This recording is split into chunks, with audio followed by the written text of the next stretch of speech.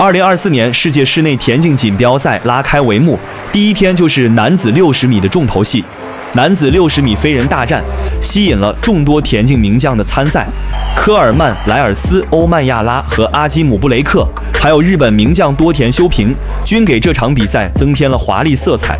男子六十米比赛是一天三枪，分为预赛、半决赛和决赛，足以让田径迷们一次看个痛快。预赛中，科尔曼就跑出了六秒四九的出色表现，力压所有对手排名榜首。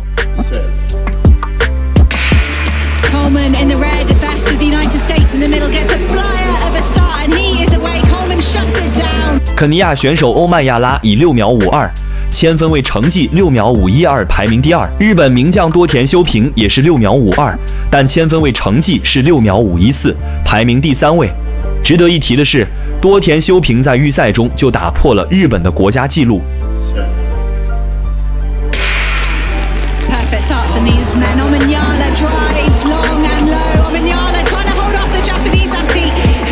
半决赛中，科尔曼继续发力，跑出了六秒四三的成绩，轻松斩获第一名。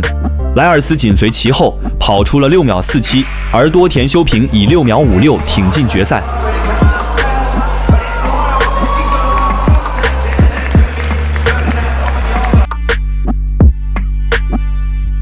决赛中，科尔曼更进一步，直接轰出了六秒四一的成绩，创造年度世界最佳成绩夺冠。这一成绩甚至比苏炳添保持的亚洲纪录六秒四二还要更胜一筹。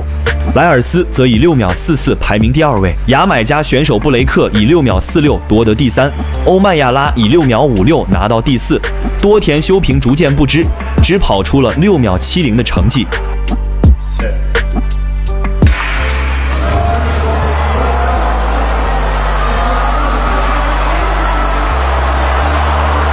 当前男子六十米世界纪录是科尔曼保持的六秒三四，亚洲纪录和中国纪录是苏炳添的六秒四二。赛前，今年世界最好成绩是莱尔斯跑出的六秒四三，而这次的格拉斯哥室内赛，莱尔斯输掉了六十米巅峰对决，科尔曼拿回了属于他的世界第一。不过，莱尔斯的表现仍然炸裂。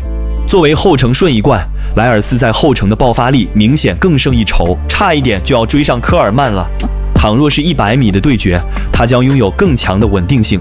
六十米不是奥运会比赛项目，而在一百米和两百米赛道上，莱尔斯恐怕将会难逢敌手，傲视群雄了。